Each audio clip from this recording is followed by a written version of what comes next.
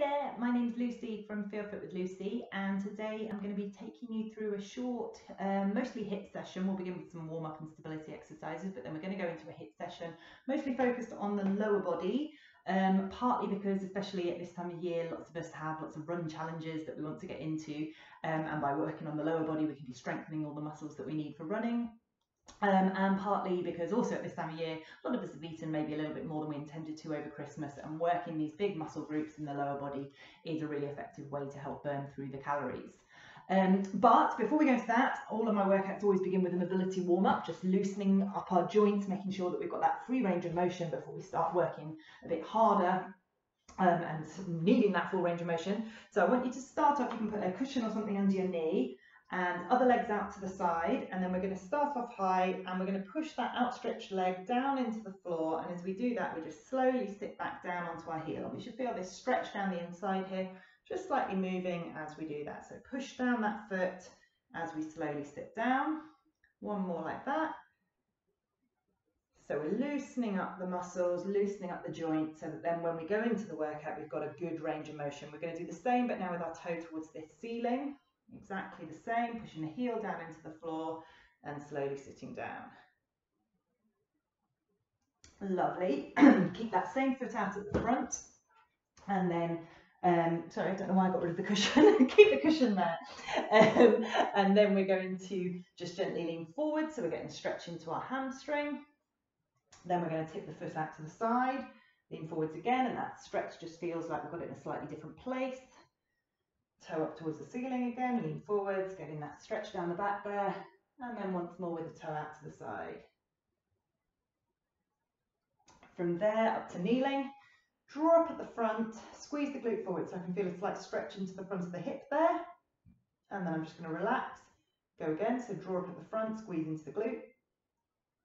Really important to be loosening up our hip flexors here. We get very tight if we spend a lot of time sitting here, so we just want to loosen these up so that we've got that full range of motion. So now we're going to draw up at the front and then we're going to push forward slowly. And again, draw up at the front. So keep drawing up at the front as you push forwards, never forcing anything. With all these um, mobility exercises, they're just about slowly loosening things up, improving the range of motion, but never forcing it. From here, this is where you can get rid of the cushion, but you don't need to. From here, hands either side of the foot, or sorry, just inside the foot, and then we're just going to make a few circles. So imagine you're painting circles with the belly button onto the floor below you. And then a few circles in the other direction.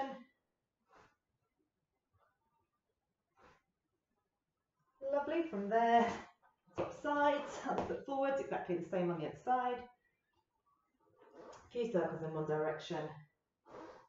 And then a few in the other. So feeling that hip loosen up.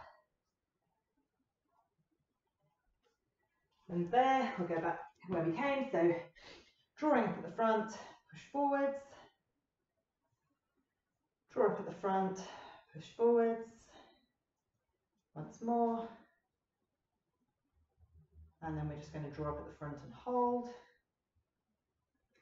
So particularly with these hips, as I say, if we spend a lot of time sitting, we get uh, tight at the front of our hips, which is a problem. For example, we go out for a run, we want that full range of motion at the hips but we also want to be able to engage our glutes. And if we have tight hips, we often struggle to engage our glutes, our bum muscles. So really important to loosen up these guys. From there, we go back into that hamstring stretch. So lean forwards, come up toe out to the side, lean forwards, toe back to the middle, forwards, once more toe out to the side. Lovely and then leg out to the side. So this should be the other one to the one that we started off with. One with the foot facing forwards. Slowly sit down onto the foot behind. Pushing that leg down into the ground to get that stretch down the inside. Good, and then toe up towards the ceiling. And once more. So hopefully that has loosened up a few bits. We'll just do a quick upper body as well. So kneeling on all fours, and then we're going to take one hand up towards the ceiling. So we're just opening up through that upper back, reaching forwards, sorry, reaching through, open up, through, and once more. And same on the other side. So as I say, all of my workouts, whether it's running, strength conditioning, HIIT, whatever, we want to make sure we begin with this warm up, not this warm up, but a, mobility warm up, just to loosen up everything. So we've got that free range of motion, loosen things up and get our mind prepared before the exercise that we've got to come. I then also would generally do a stability round, particularly before doing HIIT exercises. If we're doing stuff where we're going to be jumping around, we want the muscles to be engaging right.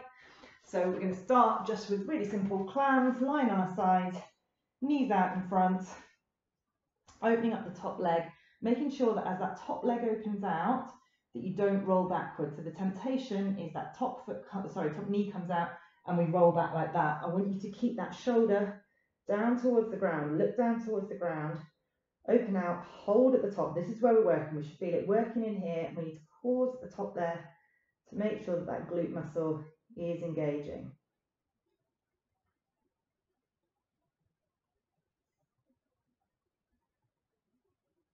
So we should be feeling it in here. If you're not feeling it, put your hand there, feel that muscle working. Get the brain to talk to the bum and say, Oi bum, this is your job. Opening out. So imagine you're opening out like a book. Not just lifting the knee, but opening out from here. A few more on this side.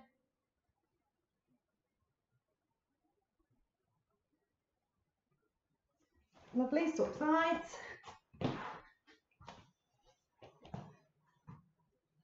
Exactly the same, so feet in line with the body, knees out in front, making sure that as we open, we don't roll back. So keep looking down towards the mat, opening out. And as I say, this is just getting these glutes engaging so that when we start jumping about in a bit, we've got our glutes engaging, particularly to support where that knee lands. So we often find when we're running or when we're hopping about in a HIIT class or something, our knees collapse in slightly. So we want to make sure that these guys here, these glute muscles are engaging just to control that position of the knee, position of the hips, so that everything stays stable, so we're reducing our chance of injury.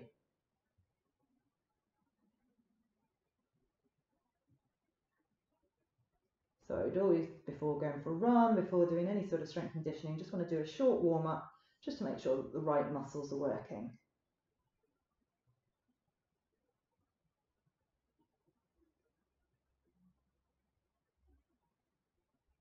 Few more on the side. So we should be feeling at this sort of side glute muscle there that stabilizes the knee and the hip. Um, then we're going to go into these big glute muscles at the back here. So we want to lie on our back, touch our heels to our fingers, tailbone tucked under, coming up and we're making a straight line from our knees down to our shoulders. Now from there, you should be feeling your bum muscles working. So keep tucking that tailbone under. Make sure you're thinking hip bones towards the nose. Don't be arching out through here. Keep thinking hip bones towards the nose.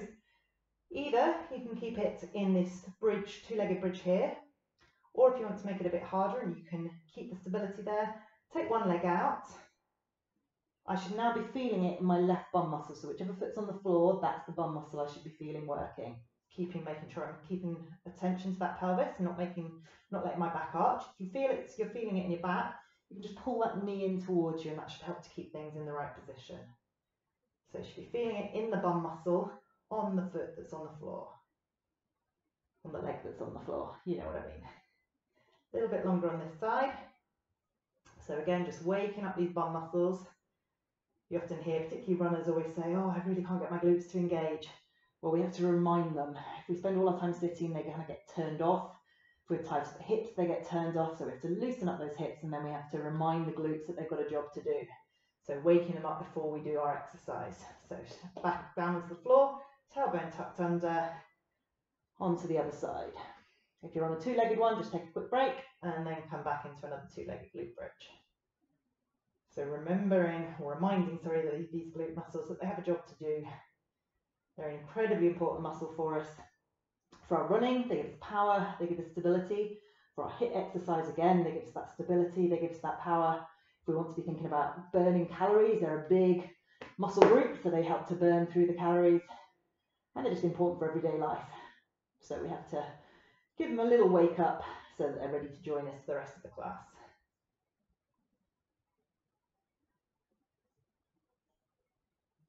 So the rest of the session, once we've woken up these muscles, is going into a kind of strength and HIIT combo. So we're going to do 40 seconds of strength exercise, which is more kind of technique based, making sure everything's working. And then we go into a HIIT version of that for 20 seconds. So um, I will show you each exercise and then we'll do it. So the first round, we'll do it slowly going through everything and then we'll just carry on blasting through it from there. So the first round will be a bit more stop-start. So first round, we're beginning with some squats. So squats, feet hip width apart. Imagine you're standing on a giant piece of paper, push the feet apart. So even as I do that, as I push my feet apart, I can feel my bum muscles working. I'm then sitting back as if I was sitting into a chair. So I want you to make sure you're sitting back, hips going back behind you rather than knees coming forwards. So we're going to go into those squats. You can work at your own pace. So join in with me now. And then I'll show you just before we get to the end of this round what you've got coming up. So we're doing 40 seconds of these and then 20 seconds of the higher intensity. Now, if you've got any injuries, any niggles, anything that doesn't quite feel right, you can just carry on doing the full 60 seconds of these exercises. If you want to make the squats a bit harder, you can slow them down, so you can come down slowly, you can hold at the bottom, you can go up, you can work on that full range of motion, so coming all the way down so that your thighs are parallel with the ground. So getting ready to go, now we're going into explode, so we're just going down, and jumping up. So join in with me now, down low, jump up. 10 seconds to go. And we're going to go straight into the next round, which is going to be a plank. Three, two, one, down into a plank. So you can go straight arm plank or a bent arm plank, holding it here. Now, if you need to take a break at all with a plank, want to make sure you've got good technique. So we don't want a bum in the air. We don't want our hips hanging down. So squeeze your bum to make sure everything's in a straight line. But if you're feeling it in your back, particularly if you feel you can't hold it, just take a quick break, knees down, join back in. Got another 20 seconds to go here. If you want to make it a bit easier, go for a low plank with those elbows down, still making, you got the, making sure you've got that straight line all the way through. Okay, into mountain climbers. So knees up, either slowly or fast. So driving those knees through. Last five seconds. Good. Straight up. Into a uh, sorry, into a lunge. And we're doing a static lunge. So we're going up and down. Now you want to have your legs far apart front to back so that as you go down you want that front knee to be over the ankle, not going forwards over the toes. Keep the hips facing forward. Think about your posture, so looking straight ahead, nice tall neck, shoulders above hips, hips above that bottom knee. 10 more seconds to go here, and then we're going to take it into a hop from that lunge. So we're going forwards, hop, back, hop, back. Add in those arms for power, drive through. So this is one where we wanted to make sure that that front knee doesn't collapse in, so really important to working up those glutes. Swap onto the other side. So other leg forwards, back into static lunges, on that side. So as we're going here, check down on that front knee. Make sure that front knee isn't collapsing in. Use your glutes to keep everything stable. Keep that imaginary helium balloon attached to the back of the head, keeping you nice and tall. So making sure you're not rounding forward. Nice straight back, nice tall back. Shoulders opened out. Give yourself space to breathe. We've got 20 seconds to go here, then we're going into that lunge back into the hop.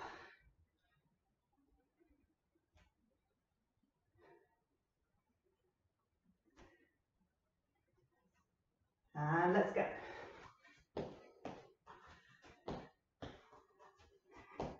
So lunge back, hop up, whoop, keep your balance. Five seconds to go. last one, down into a plank. And then from here, knee to elbow, knee to elbow. Slowly, controlled. Again, taking a break if you need to. Don't overdo it. If your hips are feeling niggly, just reduce the range of motion so the knee doesn't have to come all the way to the elbow. If the plank feels too hard, take a quick break when you need to. Another five seconds here. And then we're going to jump both feet forwards towards one hand and then the other. So jump forwards, back.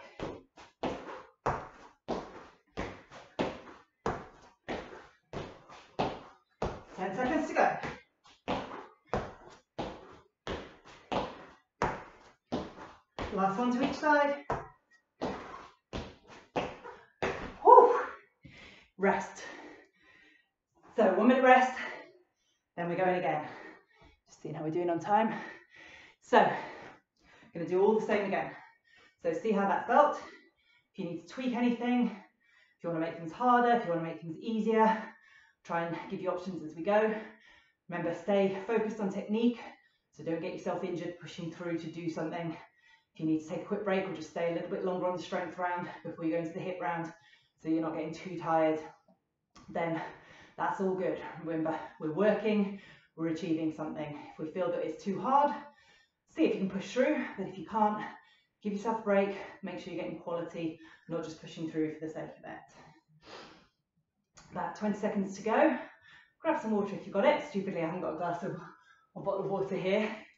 Um, then we're going to go again. So we're going to go from the squats onwards, all exactly the same. So it's about 40 seconds of the slowest uh, strength round, 20 seconds of the HIIT round. But see how you're feeling. If it feels new to you, if you're not used to jumping about so much, do a bit less jumping, build up slowly over time. Are we ready? Getting ready to go. Squats. Three, two, one, let's go. So with those squats, remember pushing the feet out, hips going back rather than knees coming forwards, feeling the glutes working at the back. If you want to make them harder, so say work on that depth. So you want to get right down, as far down as you can get, with control. Or you can just go slower, so you can come slowly down, two, three, hold at the bottom, two, three, slowly up, two, three, etc. I'm just going to keep them steady pace. I don't want to make it any harder, thank you.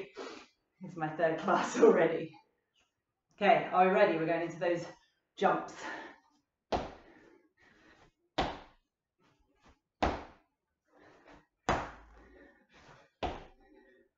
Jumping up high, down low, putting that power in. Last one. Good work. Into your plank. So just holding it there in the plank. Remember squeeze that bum, make sure everything's aligned, make sure we've not got our bum waving in the air or hips sagging down. If you need to make it easier, go for your bent arm plank, so elbows down on the ground, or you can even go for knees down. So long as you can feel that core working, that's all good. If you want to make it harder, you can go for lifting one foot and then one foot. Making sure as you do that, that the hips stay stable, that they're not waving side to side. Three seconds, then we're back into the mountain climbers. So one foot at a time, jump forwards, let's go.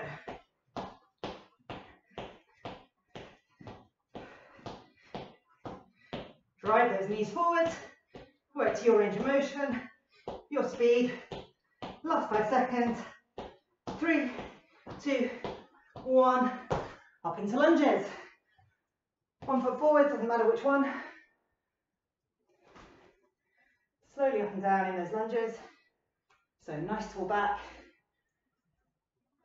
Making sure as we go down that that front knee stays facing forward. There's often a tendency for it to collapse in. So we need to use that glute to make sure it's not collapsing in, which is important for our lunges, but it's also good training for running, but it's also good training for those hops that come. If we jump and we land and the knee collapses in, that's often where we start getting knee injuries. So we want to control that knee. Here we go, into those hops. So it's a lunge back, hop up.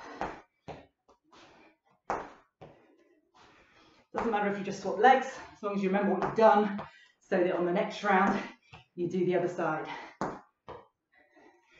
Trying to make sure that those hips are level as you come down, as you jump, as you land. Last one, onto the other side.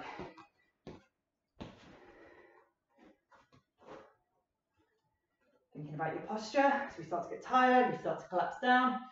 So thinking helium balloon, touch the back of the head, lengthening up. Nice and tall, through the neck, through the, through the upper body. Hips facing forwards, knees facing forwards.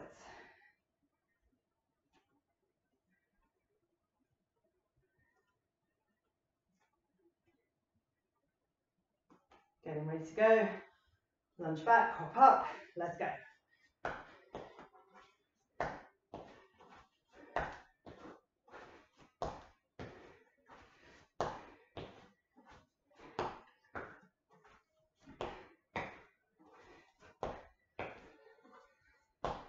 Last one. Whoop. Into our plank. And then slowly bringing that knee up towards the elbow, working to your range of motion.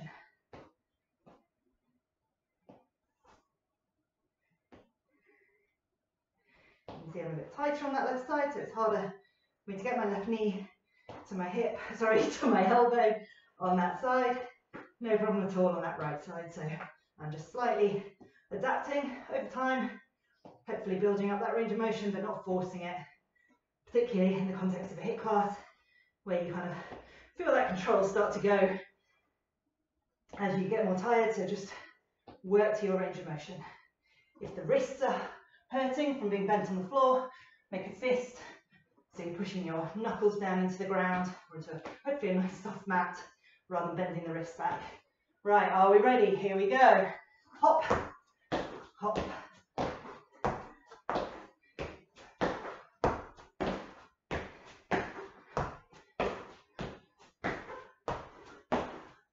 each side.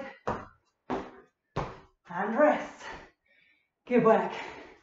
So, time for one more round. Quick rest first.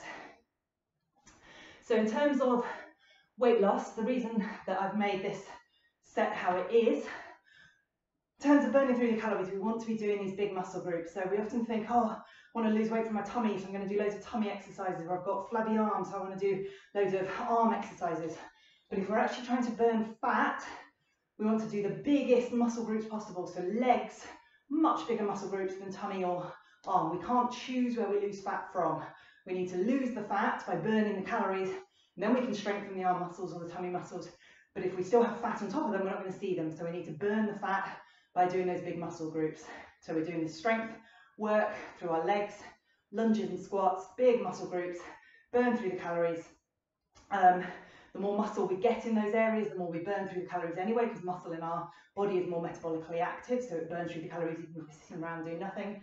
And then that HIIT is obviously burning through, burn through the calories faster, but we also kind of go into this oxygen debt and then our body has to rebuild itself afterwards and that takes more calories as well. So really good mix for burning through the calories, um, for building a little bit of muscle, but also for giving that stability, that strength to the muscles that we need if we're going to be going out running. Okay, are we ready? Final round. So back into those squats. Ready? Three, two, one, let's go.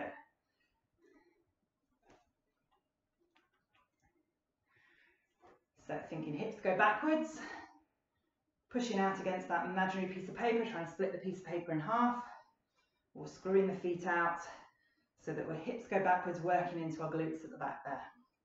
Feeling it in our quads, but hopefully feeling it in our bum as well. We, most of us tend to be very quad dominant. We'll always use quads here, and we need to teach our bum muscles. As I said, we need to teach those bum muscles to engage. So thinking hips go back helps to get the bum muscles working. Feels so easy at the moment, doesn't it? Well, relatively. Right, are we ready? Into those jumps. Getting down low, jumping up high.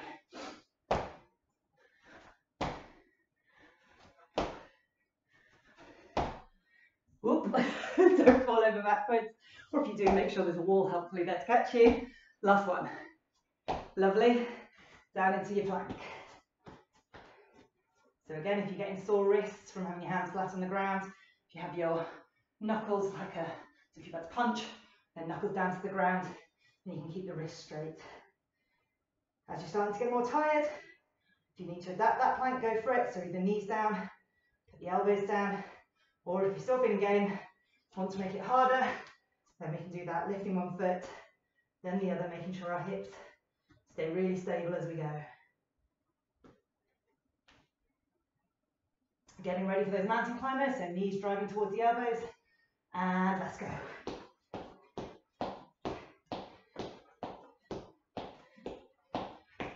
10 seconds to go.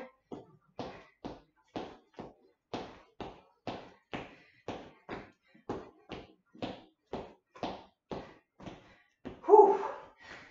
Have to lunges. So, making sure feet nice and far apart, front to back. Making sure that front knee's not creeping forwards. So knee over the ankle here not pushing forwards over to the toe. Making sure that that front knee is not collapsing in. Try and keep the hips level. Feeling the glutes engaging. Getting ready for those hops. It's all right, got a little bit longer first. If you're feeling anything's getting sore with the hops, just take them out. Keep on the lunges. If you're not used to doing hopping, you need to build up to it. Here we go. So just adapt based on how your body's feeling.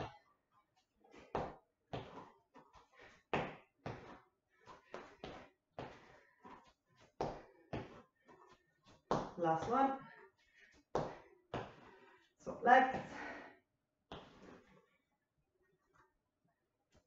We often feel it's a sign of weakness if we don't do an exercise we always want to make sure we're doing the hardest one. But I would say it's a sign of strength to know your body, know your limits, know that those limits are temporary. But if you work with what you've got now, respect your body, you're going to be less likely to get injured, which is going to make you stronger in the long run. So don't feel pressured to always do the harder option. Make sure you're doing the option that's right for you. Similarly, don't always take the easy option. Should be challenging, but it should be doable.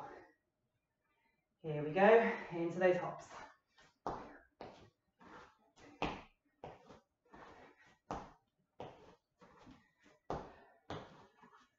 Ten seconds to go.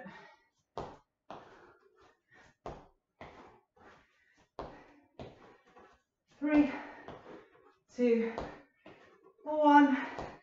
Down into your plank. Final plank. So if you're still feeling okay, we're taking those knees up towards the elbows with control, steady.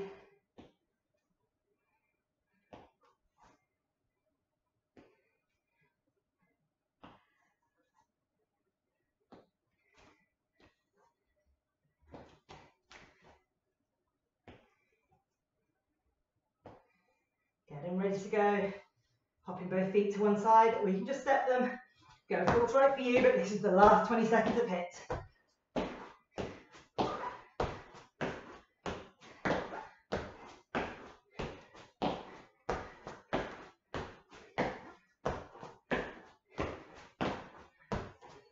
Last few seconds, stick with it, and done.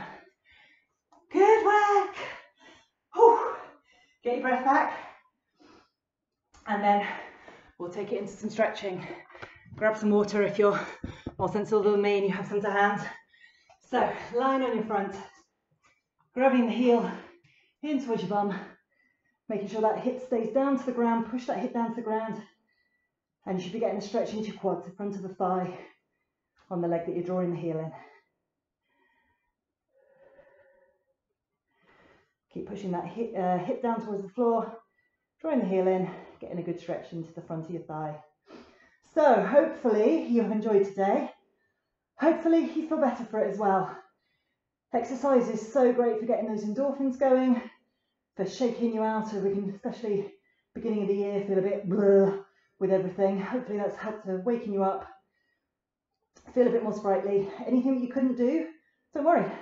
Something that you can work on and get stronger in the future. So rather than beating yourself up for what you couldn't do, what you didn't do, praise yourself for what you did do. If you're still watching this right now, I'm presuming you've done at least some of this class.